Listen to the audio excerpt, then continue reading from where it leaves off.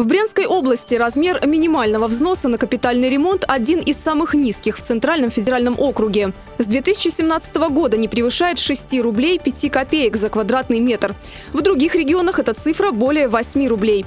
При этом качество ремонта и число обновленных домов в регионе растет. На 2020 год запланирован ремонт на 237 многоквартирных домах по 257 видам работ. Из них 192 крыши планируется отремонтировать инженерные сети в 30 многоквартирных домах, установить коллективные приборы учета в 19 многоквартирных домах. От регионального фонда капитального ремонта на заседании прозвучало предложение, чтобы жильцы новых домов, заселенных более трех лет назад, тоже платили за капремонт.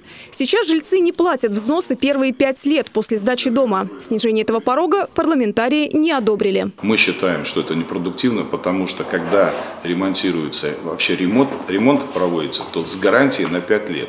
Ну, получается нонсенс, как 5 лет гарантия, а новый дом, который только допусти, запустили, у него будет э, гарантия 3 года. Это неправильно, поэтому мы единогласно приняли это решение оставить, как и было. А вот другое предложение для поддержки бизнеса решено внести в план работы комитета. Парламентарии высказались за возможность снижения имущественного налога с 2 до полутора процентов. 2% это серьезная нагрузка на бизнес.